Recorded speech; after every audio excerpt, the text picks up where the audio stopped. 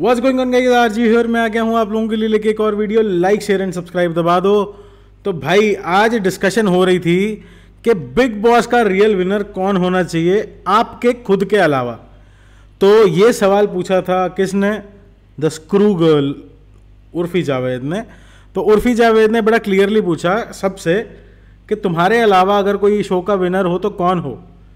बेबिका ने तो फिर वही चाटने वाला काम करना, पूजा भट्ट। ठीक है, पूजा भट्ट ने बोला एलविश यादव। जिया ने बोला ऑफ़ कोर्स अभिषेक। ठीक है, और मनीषा रानी ने बोला, सीधा सीधा अभिषेक। ठीक है, अब बात आ जाती है जिनके बीच में एक्चुअल में कंपटीशन है।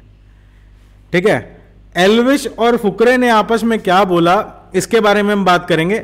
एलविश का पॉइंट ऑफ़ व्यू इस चीज़ में बिल्कुल क्लियर रहा है शुरू से, कि इस शो को जीतना अगर कोई डिजर्व करता है तो वो फुकरा करता है। तो उसने क्लियरली बोल दिया कि मेरे अलावा अगर कोई ये शो जीतेगा तो वो अभिषेक ही जीतेगा, ठीक है?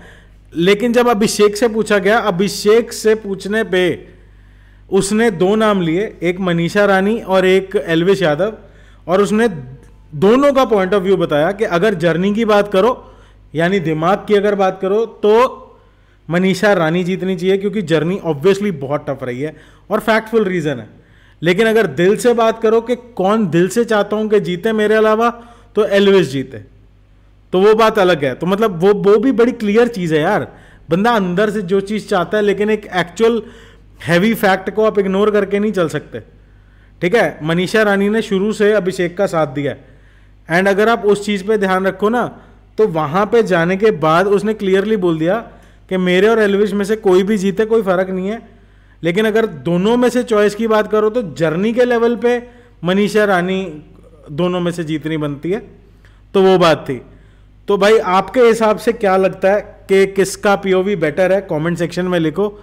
मेरे को बताओ। आज लाइव पे डिस्कस करेंगे साढ़े दस बजे। आ जाना इसी टॉपिक पे डिस्कस करेंगे प्लस नॉमिनेशन डिस्कस करेंगे। क्योंकि हो सकता है आज वाले एपिसोड के अंदर हमें नॉमिनेशंस देखने को मिले। तो लाइक करो शेयर करो सब्सक्राइब करो। मिलते हैं लाइव पे। और शॉर्ट वीडियोस तो आ ही रही हैं।